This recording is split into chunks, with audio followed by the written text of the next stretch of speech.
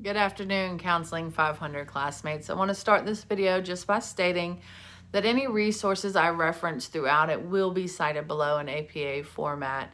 And then I want to move on to what we read this week. We read about some professions that we may enter once we exit this program or things we aspire to be, such as a biblical counselor, a lay counselor, a Christian counselor, a pastoral counselor. And then there was this one that was a professional counselor that operates out of a Christian worldview. And I think that's where myself and possibly a lot of you guys fit into. But I, it took me a minute because I thought, how is that different than a Christian counselor? Because that was just stated right before that. And I realized a Christian counselor is someone that's going to be counseling most likely a Christian population. And if it's not a Christian population, it's someone that wants to be a part of the Christian population or wants to know more about the Christian doctrine for themselves. Whereas the professional counselor operating out of a Christian worldview will be counseling a very diverse population and possibly people that have no interest in Christianity at all. And for myself, I want to work with at risk teenagers. That's who I've already worked with in the past, just not in the counseling profession. And so for those, they don't have, well, most likely do not have a developed worldview at that point in life. What they do have comes from their parents or their family, what they've been raised in. And I know that from the ACA Code of Ethics, it's not my place to impose those views.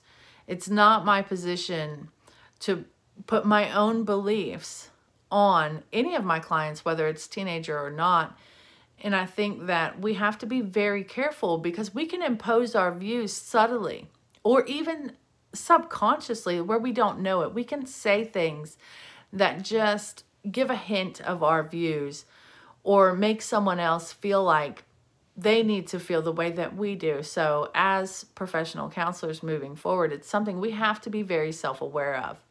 And I think that a lot of that also can fit into the integration models that we read about this week and how we view those. Because if we're operating out of a model that states that Christianity and psychology cannot coexist, we're going to be more likely to put our views into that, into our counseling relationships when we shouldn't.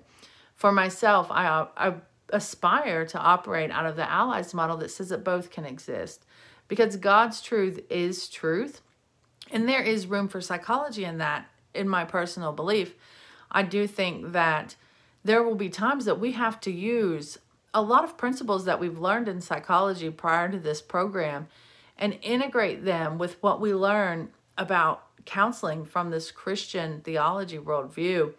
The two of them can go together, but my end goal is honestly just to be a light for my clients, whether it's teenager or not, for them to see that light because that light that we carry inside of us is Christ-like. Like that is the love of Christ that we're showing our clients without ever stating our worldview.